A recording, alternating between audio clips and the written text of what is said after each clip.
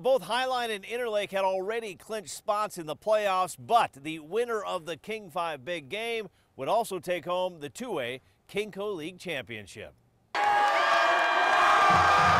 Interlake Dog Pound was rocking for the King 5 big game, and even Bernie the mascot was getting into the fun.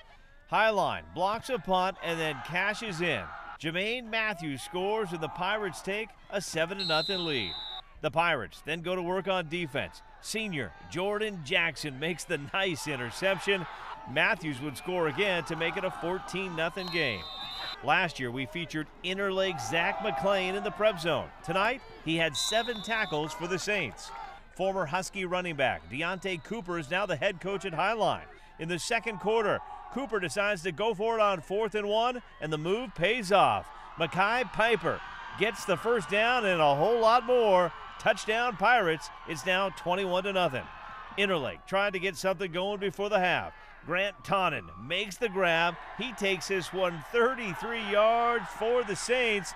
The dog pound is going bananas, but the Saints can't score. It's 21 0 at the half.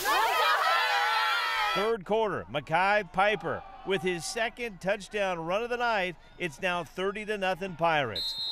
Mackay was doing it on offense and defense. He lays some thunder here and makes the big tackle.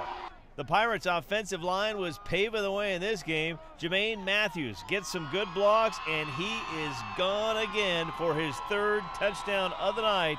The Highline Pirates, they win it 44 to nothing and take home the 2A KingCo Championship. It was pretty special. You know, we've been out working since June August, putting in that hard work, and this means so much to be here right now. Coach Cool believes in this.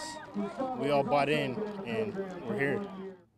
Deontae Cooper took over as the head coach at Highline in 2019. They made the playoffs that season, and this season they are league champs for the first time in over a decade. At Interlake, I'm Chris Egan, King 5 Sports.